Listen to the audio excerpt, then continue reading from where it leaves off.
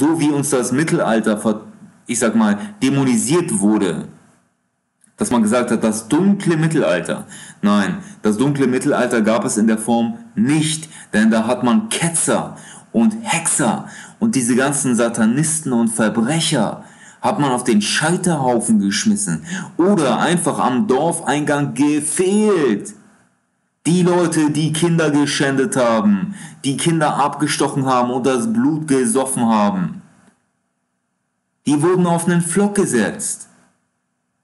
Die Leute, die die Brunnen vergiftet haben, die wurden einfach lebendig verbrannt. Zack, Problem gelöst. Heute sind solche Satanisten in allen Schlüsselpositionen der Macht in der Gesellschaft. Und da streuen sie ihr Gift überall. Und sie haben die Völker an den Eiern. Und das ist die Schwierigkeit.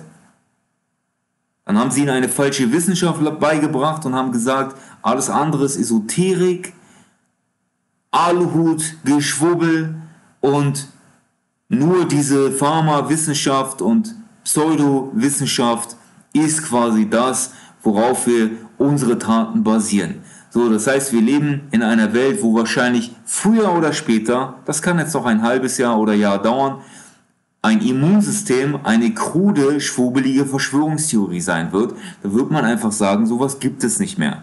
Daran haben mal irgendwann Esoteriker geglaubt, aber wir glauben mittlerweile daran, dass uns nur Spritzen retten können. Und so werden sie es auch machen. Und sie werden genauso Corona-Leugnen eines Tages so massiv unter Strafe stellen, wie sie heute Holocaust-Leugnung unter Strafe stellen. Und sie werden dann sagen, es gab diese Pandemie. Und jeder, der das hinterfragt, der wandert ins Gefängnis.